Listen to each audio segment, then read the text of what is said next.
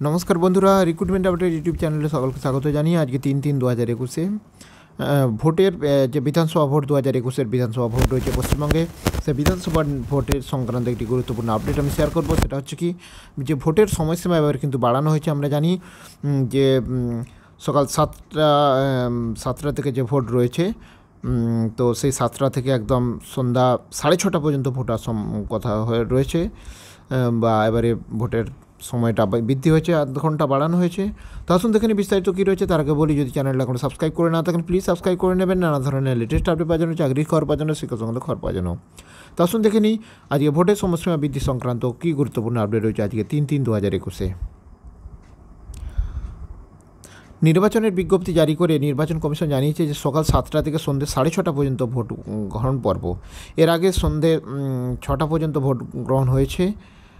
এবার তার পরিবর্তে সাড়ে ছটা পর্যন্ত ভোট উম, গ্রহণ পর্ব রয়েছে। গত কাল বিকেল সাড়ে পাঁচটা নাগাদ ডিস্ট্রিক্ট ইলেকশন অফিসারদের নিয়ে নির্বাচনী প্রস্তুতি নিয়ে ভিডিও কনফারেন্সের কার- করেন মুখ্য নির্বাচনী আধিকারিক আরিজ আফতাব এবং বুথ মোট ভোটারের সংখ্যা কমলেও এইভাবে ভোট গ্রহণের সময়সীমা বৃদ্ধিতে অসন্তোষ প্রকাশ করেছেন ভোটকর্মীরা।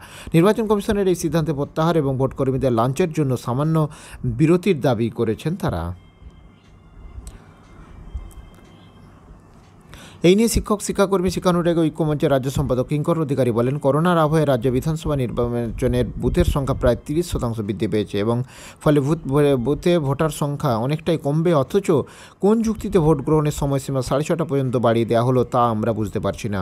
ভোটকর্মীরা কি মানুষ নয়? আগের দিন ভোর থেকে ভোটের দিন রাত পর্যন্ত প্রায় বিরামহীন এই প্রক্রিয়াকে আরও দীর্ঘায়িত করা হলো। আমরা এই সিদ্ধান্তের তীব্র বিরোধিতা করছি এবং তা প্রত্যাহারের দাবি জানাচ্ছি। তাই তিনি আরও বলেন যে প্রতিটি বুথে আমরা একজন করে অতিরিক্ত ভোটকর্মী দেওয়ার দাবি জানিয়েছি এবং তা যদি না হয় তাহলে ভোটকর্মীদের লাঞ্চের জন্য দুপুরে কিছুটা সময় বিরতির ব্যবস্থা রাখা হোক এবং ভোটকর্মীদের দীর্ঘ সময় বিরামহীনভাবে ডিউটিতে বাধ্য করান করানো শুধু অমানবিক নয়, অন্যায়ও বটে এবং আমরা নির্বাচন কমিশনকে ভোটকর্মীদের প্রতি মানবিক হওয়ার জন্য আবেদন জানাচ্ছি।